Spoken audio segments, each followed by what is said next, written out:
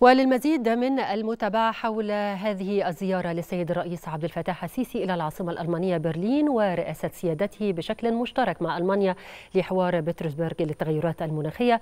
ينضم إلينا الأستاذ أشرف العشري مدير تحرير الأخبار. أستاذ أشرف يعني تحية طيبة في البداية وهذه الفعالية والمقدمة لكوب 27 وكافة الملفات التي تم التباحث بشأنها ما بين السيد الرئيس عبد الفتاح السيسي والمستشار الألماني كيف تقرأ؟ مساء الخير لحضرتك بكل تأكيد هذه الزيارة درجة كبيرة من الأهمية من حيث مواجهة جملة والتحديات الدولية بالإضافة إلى أنها الزيارة الأولى للرئيس عبد الفتاح السيسي للقاء المستشار الألماني في ظل تولي السيد شولتز مسؤولية المستشارية في ألمانيا بعد السيدة إنجيلا ميركل وبالتالي حجم ما تم تحقيقه في السنوات السبع الثمانية الماضية بين مصر وألمانيا ساعد في أن يكون هناك درجة كبيرة من التفاهم والتلاقي. المصري الألماني على مسارات العلاقات الثنائيه ومسارات التنمية. باعتبار أن ألمانيا أصبحت شريك رئيسي وجوهري لمصر في السنوات الماضية عبر جملة من المشروعات العملاقة في مجال الكهرباء، السكك الحديدية والأنفاق والمشروعات الخاصة المتعلقة بالتنمية المستدامة في مصر. باعتبار أن ألمانيا وجدت كثير من النجاحات مع مصر في توفير مناخات ل علاقات اقتصاديه وتجارية بالإضافة إلى الاشتراك بين القاهرة وأيضا ألمانيا فيما يتعلق بالمشروعات الخاصة بالطاقة في المرحلة القادمة في ظل استضافة مصر لكوب 27 في شهر نوفمبر القادم في شرم الشيخ واهتمام ألمانيا بمشروعات الطاقة النظيفة والهيدروجين بالتعاون مع مصر في هذا الإطار خاصه ان مصر حققت نجاحات في مجال الطاقة النظيفة وتستعد لاستضافه أكبر مؤتمر على مستوى دول العالم يشارك فيه 193 دولة في شهر نوفمبر القادم في شرم الشيخ، وهنا هذه الزيارة تحتل جملة من الأولويات على مسار العلاقات الثنائيه وعلى مسار أيضا مناقشه عديد من القضايا. هناك ملاحظ ثلاث عناوين رئيسية في القمة المصريه الألمانية،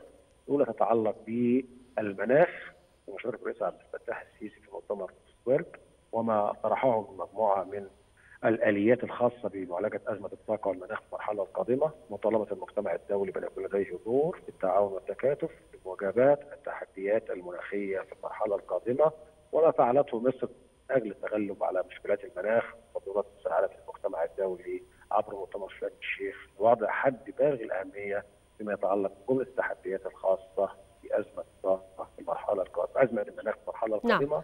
وضرورة انخفاض درجة الحرارة في العالم بدرجة ونصف حتى يستطيع المجتمع الدولي أن يواجه كثير من التحديات المتعلقه بالمناخ. ثم أيضا القضية الثانية تتعلق ب ان يكون هناك درجة كبيرة من التعاون بين مصر وألمانيا في المرحله القادمه في مجال الطاقة والغاز خاصة أنه تم توقيع اتفاق بين القاهرة والاتحاد الأوروبي لتمرير طاقات الغاز في المرحلة القادمة عبر الغاز المسال محطتي ادكو ودمياط واعتبار أن مصر اصبحت دوله رائده في شرق المتوسط أو في غاز المتوسط وبالتالي لديها درجة كبيرة نعم. من التعاون. وهي الاستراتيجية المصرية بتحويل مصر إلى مركز لوجستي لتصدير الطاقة. لكن يعني دعني أتحدث معك فيما يخص العلاقات الثنائية ما بين دولتين صديقتين على مدار أعوام ماضية. وليست صداقة أو علاقات وليدة اللحظة. دائما ما يكون هناك نوع من التعاون في مجال التدريب الفني والمهني والتكنولوجي ما بين مصر وألمانيا. لا يتوقف فقط على ذلك بل أيضا توطين هذه الخبرات في الداخل المصري وتوطين الصناعات بالكيفية الألمانية أو دعنا نتحدث عن سياسة العمل الألمانية ووتيرة السرعة التي تتميز بها دائما. كل تأكيد العلاقات المصرية بعد أسابيع معدودة سيتم احتفال 70 سنة 70 عاما من مسيرة العلاقات السياسية والدبلوماسية بين البلدين. هناك تاريخ مشترك هناك مشروعات عملاقة بين البلدين فيما يتعلق بمسائل التدريب ونقل الخبرة الألمانية في مجال العمل بجانب المصري. وأعتقد هذا ليس يريد الآن كان هذا قائم في عهد التسعينات والثمانينات عبر المشروع المعروف فيما يتعلق بالتدريب الخاص وأيضا مجموعة من المشروعات العملاقة في مجال التدريب والإعداد.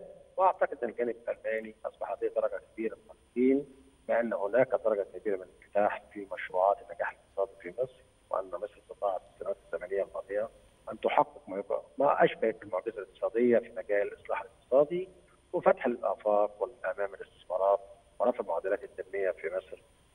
بوتيره سريعة وبالتالي ألمانيا اصبح لديها درجة كبيرة من المشاركة عبر الحكومة الألمانية والقطاع الخاص مشروعات عملاقة في مجال الغاز، في مجال الطاقة، في مجال الكهرباء، في مجال الأنفاق. بالتالي هي تريد أن تنقل الخبرة الألمانية بالتعاون مع مصر بعد النجاحات. الاكيده من قبل الجانب المصري وتوفير الجدية في مشروعات الاصلاح الاقتصادي أن يكون هناك تنمية مستدامة ومشاركة مصريه ألمانية في هذا الشأن. نجحت نعم. مصر وألمانيا في المشروعات الخاصه بالتدريب وهناك ما يعرف المشروع القديم آه، الذي من خلاله يتم فتح مجموعة من المدارس الخاصة بالتدريب والإعداد والتعليم الفني في مصر وأعتقد الجانب الألماني أحيا هذا المشروع في السنوات ما يمكن أن يضيفه لسوق العمل المصري الذي هو بأمس الحاجة إلى هذه الكادرات الفنية في التعامل مع متطلبات العصر. كل تأكيد غير المعادلة. في ظل انفتاح مصر للمشروعات الاقتصاديه والتنمويه وفتح الافاق أمام مجال الصناعة في مصر اعداد والتدريب لكوادر جيدة تتماشى مع مشروعات طموحة للإصلاح الاقتصادي في مصر. نجحت مصر ولديها أيضا رغبة كبيرة في مضاعفة هذا النجاح في السنوات القادمة من خلال رؤية 2030 المصرية، أعتقد سيكون هناك بالفعل درجة كبيرة من الاستفادة من حجم النجاح الألماني والماكينة الألمانية في المشروعات الكبرى باعتبار ألمانيا قاطره أوروبا والعالم في الصناعة، هذا الأمر سينعكس بالإيجاب على المشروعات الخاصة بالتعاون والتدريب في المجالات الفنية. والتدريب الصناعي بين القاهرة وبرلين وسيلعب دورا كبيرا فتح أفاق المشروعات العملاقة تلعب دورا كبيرا في نقل الخبرة والتدريب واللوجستيات الألمانية وفتح الأفاق أمام مشروعات أيضا خلالها المانيا توفر التدريب وتوفر كثير من العماله الماهرة التي خلالها تستطيع السنوات القادمة أن تضع قدمها على مسيرة إصلاح صناعي واقتصادي بالغ الأهمية في المرحلة القادمة حتى تستكمل منظومات الإصلاح بشكل كبير من الجدية والنجاحات وتلاحق ألمانيا فيما يتعلق بتوفير الاستعدادات الفنية والألمانية. نعم. ماذا عن شكل التعاون ما بين مصر ودول الاتحاد الأوروبي والافاق المستقبلية لهذا التعاون في ظل أزمة اقتصادية عالمية؟ أعتقد إن هناك رهان أوروبي الاتحاد الأوروبي في السنوات ال 15 وال 20 الماضيه بلغ ذراته في السنوات الماضية في ضوء تعاظم التحديات سواء على المسارات السياسية أو الاقتصادية وبلغ ذروته من الاعتماد الأوروبي والألماني على المصري فيما يتعلق بأزمة الغاز وما إلى ذلك بعد الحرب الأوكرانية وأزمة الطاقة وأزمة الغذاء وبالتالي الاتحاد الأوروبي وألمانيا لديهم درجة كبيرة من الاعتماد على مصر باعتبارها دولة محورية. ركيزه أساسية للأمن والاستقرار في إقليم الشرق الأوسط لعبت أدوار بالغه الأهمية في حفظ الأمن الوطني في الاقليم وأستطاعت مصر أن توفر حاضنه أيضا المسارات العملية السياسية سواء بين الفلسطينيين والإسرائيليين وبالتالي رهان أوروبي كبير ورهان ألماني كما قال الش- المستشار الألماني جون شولتز ان أن ألمانيا تقدر الدور المصري في حرب غزة الأخيرة في العام الماضي واستمرار المسائل المصرية لعمليه السلام في الشرق الأوسط. بالتالي في ضوء التحديات بعد الحرب الروسية الأوكرانية وما حدث من أزمات خاصة في الإقتصاد والأمن الغذائي والطاقة هناك رغبة في أن يكون هناك ماديه التعاون والتلاقي بين مصر وألمانيا في المرحلة القادمة والاتحاد الأوروبي مشروعات عملاقه وكبرى وأنا أستنتج مما حدث في مؤتمر الصحفي اليوم أن الرئيس دعا الجانب الألماني للاستثمار في مشروعات الطاقة النظيفه واقامه مشروعات ألمانية أوروبية في مجال الغاز في المرحلة القادمة. وأعتقد أن هذا الأمر سيكون له ما بعده من رغبة ألمانية وأوروبية أيضا على إقامة مشروعات خاصة في الغاز في المرحلة القادمة. توفر فائض قوة من الغاز لاوروبا في المرحلة القادمة بعد مجموعة الاتفاقيات اللي تم توقيعها بين مصر والاتحاد الأوروبي في الأسابيع الثلاثه الماضية من ناحيه وبي- وبعد أيضا نجاح مصر كمحور استراتيجية الطاقة في منطقة الشرق المتوسط يلعب دورا كبيرا في سد الغاز نعم. الذي فقد من الحرب الروسية الأوكرانية تصميم روسيا ومنتدى شرق المتوسط الذي. كان المقر الخاص به في مصر. لكن دعني أتحدث أيضا عن الدور الريادي لمصر سواء فيما يخص الشأن الإفريقي أو يخص الدائرة الأكبر بالشأن العربي والشرق أوسط آه، آه، آه، بدوله المختلفة التي ما زالت تعاني من أزمات تمس بشكل مباشر شعوب هذه الدول ومصالحها ومن ثم تطل أيضا القارة الأوروبية.